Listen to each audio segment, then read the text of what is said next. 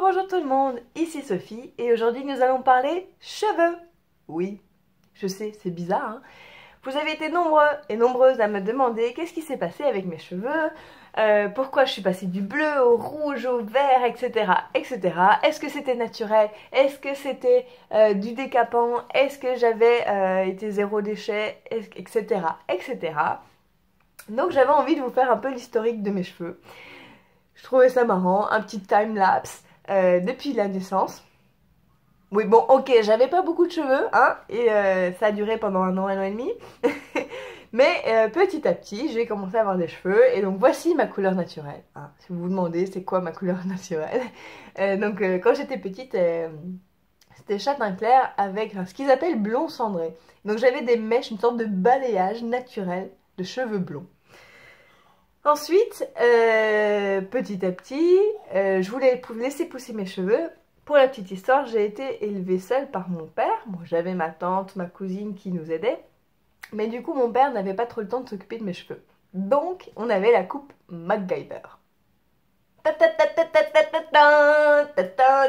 Ouais, ok. C'est magnifique, je sais.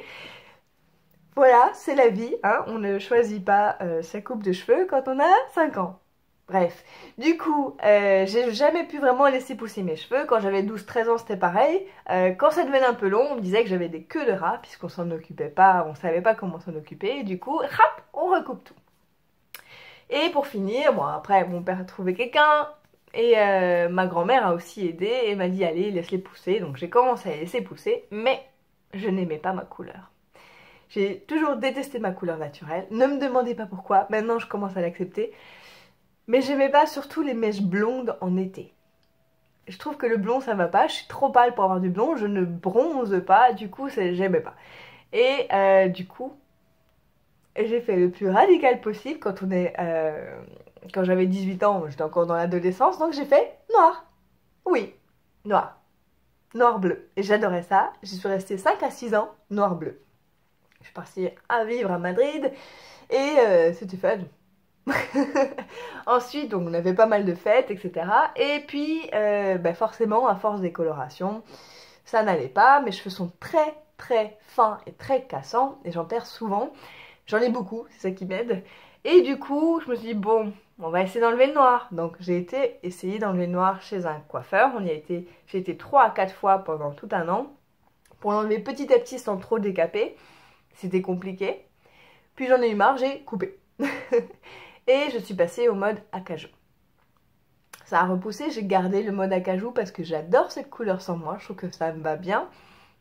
Et, euh, voilà. Ensuite, les cheveux pour moi, c'est quoi? Mais c'est un moyen d'être fun, entre guillemets, et de passer d'un personnage à un autre. Euh, j'aimais bien les soirées à thème, donc c'est pour ça que vous m'avez vu en gothique, en Harajuku. Harajuku? Euh, Et puis j'aimais bien aussi si vous me suivez depuis le début de ma chaîne, vous avez vu des tutos make-up. Ils sont plus là, ils sont partis. Mais euh, j'ai fait, euh, j'ai participé à des concours de maquillage avec plein de tatouages. Enfin, je m'étais maquillée des tatouages sur moi.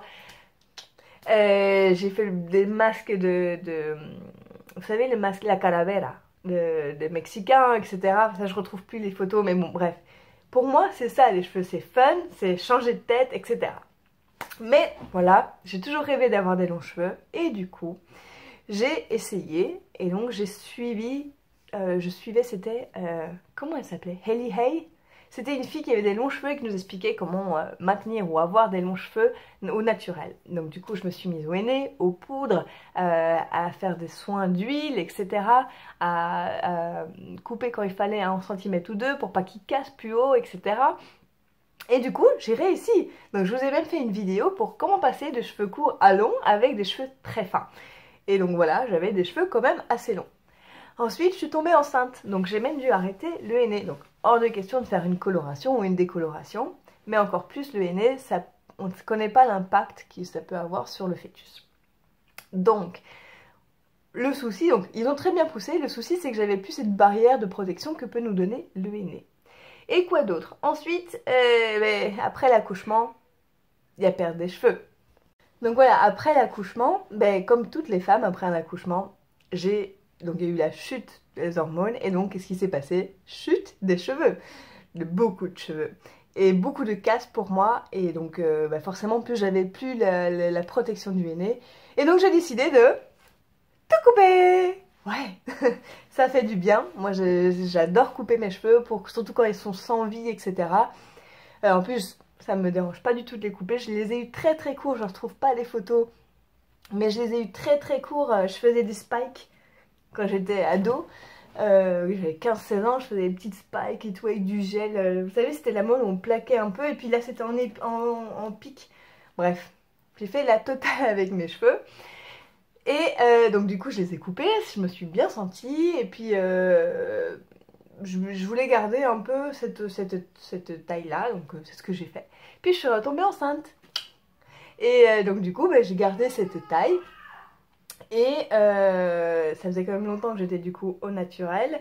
Euh, si vous voyez les... Donc là j'ai mes cheveux un peu plus foncés parce qu'entre temps j'avais fait un aîné foncé.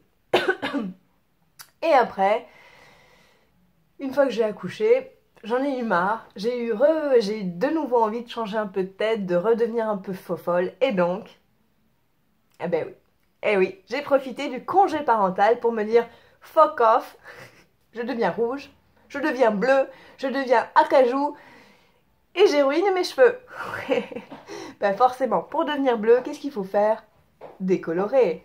Ensuite, il faut teindre en bleu. Et puis, il y a mon fils qui arrive. Et donc, si vous entendez des bruits, c'est mon fils qui joue à côté de moi. Et euh, donc voilà, j'ai j'ai assumé, j'ai tué mes cheveux, mais j'avais envie de m'amuser un peu. Ça m'a fait du bien aussi de me retrouver ce petit côté faux folle un peu. Et, euh, voilà, maintenant, ils étaient tellement morts. la décoloration revenait. Euh, j'avais beau les recolorer, ça allait pas. Et du coup, ben, je pouvais pas non plus repasser au aîné parce que ça n'allait pas non plus. Du coup, ben, solution, on recoupe tout. Donc me voilà, euh, j'ai encore des petites mèches on les voit clairement, elles sont beaucoup plus fines, euh, beaucoup plus claires. Euh, donc j'essaye de les, nourrir à l'huile, boire beaucoup d'eau, je prends un soin, enfin un complément, un complément à l'huile de bourrache. Et forcément les nourrir aussi avec de l'avocat, etc. Ça va prendre du temps, cette partie-là elle est morte je pense, mais je peux pas encore la couper, ça ferait un peu bizarre. Je voulais quand même garder un petit carré à la mâchoire. Mais voilà ce qui se passe avec mes cheveux. Vous allez revoir ma couleur naturelle qui revient. Et puis on verra ce que je vais en faire. Mais une chose est sûre, je vais rester au naturel. Peut-être du henné, mais je veux rester au naturel. voilà ce qui s'est passé avec mes cheveux. Vous avez aimé? Est-ce que vous aussi vous avez fait des folies avec vos cheveux? Je suis curieuse, dites-le moi là en commentaire. Et n'hésitez pas à vous abonner pour des vidéos un peu plus fun comme ça. Ciao ciao